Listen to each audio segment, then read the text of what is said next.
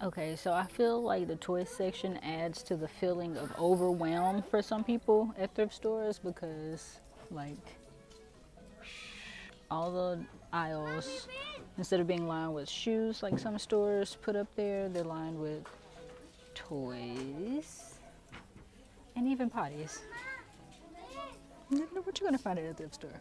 But some of the things I look for are um, educational toys, and then I look for if it's a plastic toy, something that is all one piece that can be cleaned, something that doesn't have crevices where things could have gotten stuck or gunky. Something like, okay, see this. It has too many buttons for my liking. It looks like a ball should go in there and there are no balls with it. And it's dirty and gunky on one side, so that's not something I would do. But look at this. This is educational. Here is a microscope. And that's pretty cool. It's Toys R Us brand. That's something I like if I can see the brand so I can search and see like maybe repairs or what type of batteries it needs or like how to take it apart or something so that I can identify it. It has more identification information right there. Yeah, that's pretty stinking cool. trying to see a price on it. I do not see one at this time. Oh, $3.99 for a microscope. Now there's no guarantee that it will work. Let's see. Hold on. Okay, so upon a uh, further inspection, the light comes on, it works.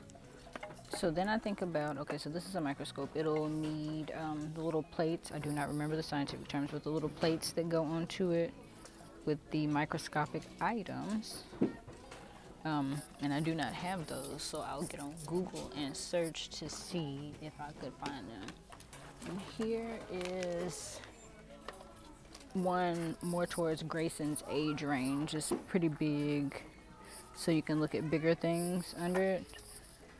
And it has the um, brand name on it. So this one I will Google to see if there's something else that goes with it because it seems like something is missing from it but it looks easy to clean. I'm gonna try to switch it on, see if it works. Oh look, no, this one comes, this one comes with the little slides.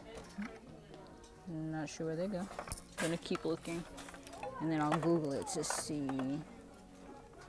how this works. Okay, you can turn it down. Oh, you put the slides in here.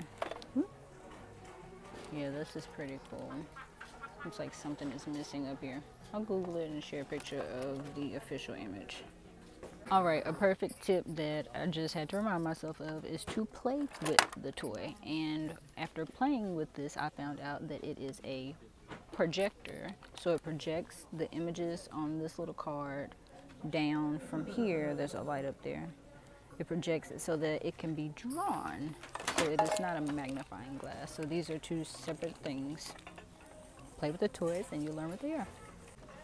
Okay, so I typically avoid plush toys at the thrift store because they've been loved on and I just, I don't know.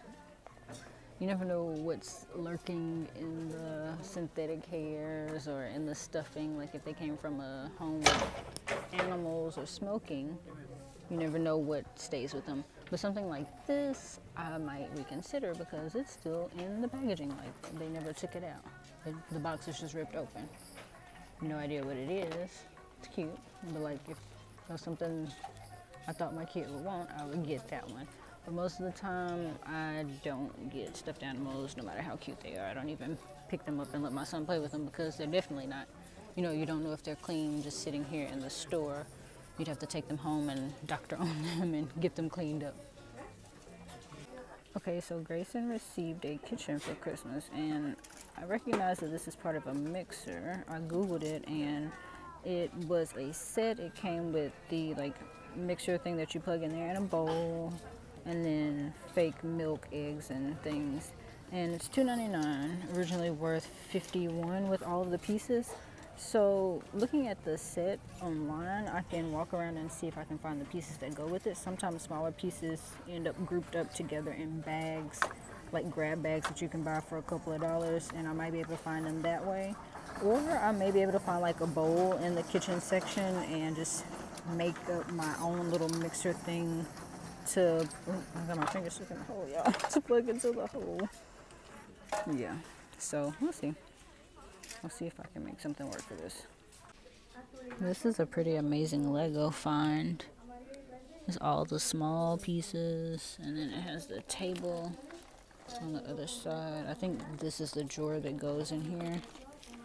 looking for a part. Oh, it has handles to it. Ooh, let's see if I can find the price. $16, I think. Yeah. It's better than like buying it all new. That's probably a steal, seeing that it's Lego. Okay, seriously though, y'all, I just came from um, a teacher's store down the street from my sister's house, which is like one minute away from here because I'm uh, visiting family. And this was there, and I was just checking out games because I want Grayson to have board games.